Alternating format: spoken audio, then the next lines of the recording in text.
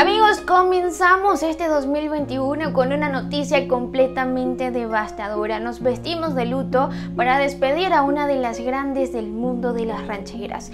Quédate conmigo aquí en Famous Close Up porque te contaré todos los detalles. A lo largo de la historia de la música de México, definitivamente han sido demasiadas personas las que han querido alcanzar el éxito, escribir música, cantar y sobre todo llegar a nuestros corazones. Sin embargo, pues han sido muy pocos los que han logrado sobre todo una de las últimas cosas y es formar parte de toda nuestra vida y estar en nuestros recuerdos más memorables. De hecho, son hasta con las manos contadas y uno de esos me atrevería a decir que es nada más y nada menos el grupo de las Gilguerillas.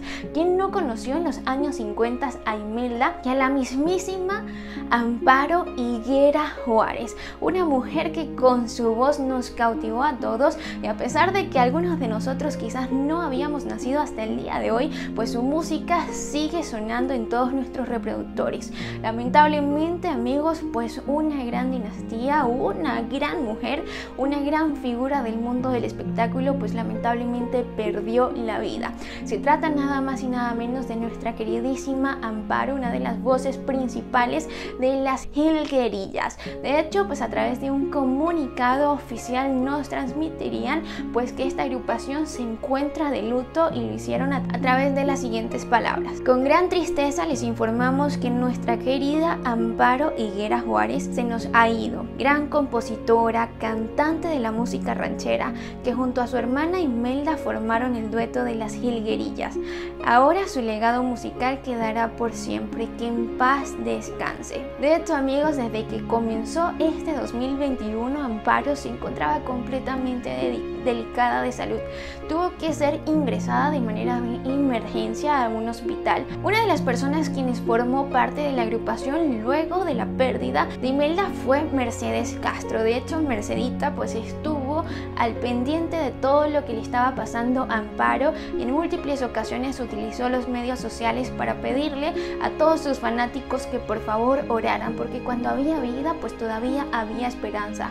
Y esto es lo que nos decía Mercedes. Donde hay vida hay esperanza, Dios es grande y poderoso, Dios bendiga a mi compañera Amparo de las Gilguerillas.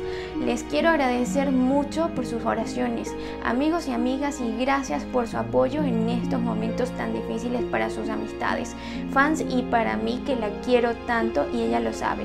Bendiciones. De hecho, pues esto lo escribiría el 6 de enero a través de su cuenta de Facebook y la despedida de Amparo se dio el día de hoy. La cantidad de canciones de música que escribió Amparo pues son completamente innumerables, son completamente fantásticas.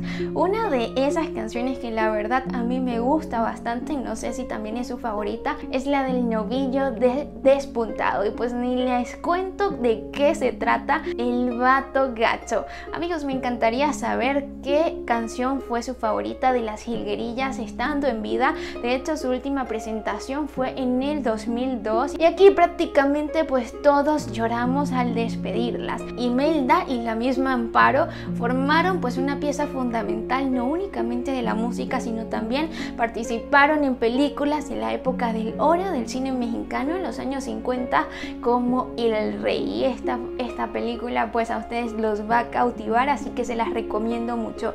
Me encantaría leerlos aquí en los comentarios y nos vemos en una próxima oportunidad de Famous Close Up.